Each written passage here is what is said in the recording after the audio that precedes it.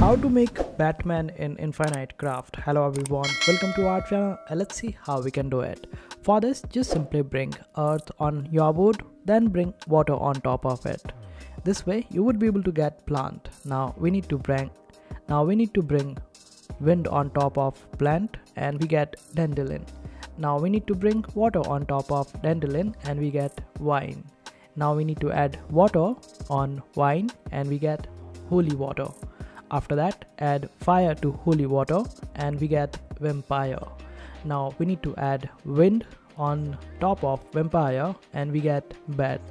Now we need to search for bat over here and add bat on bat. And this way we get batman. And this is how you do it. I hope this video was helpful. Make sure to hit that like button and also subscribe to our channel for more helpful videos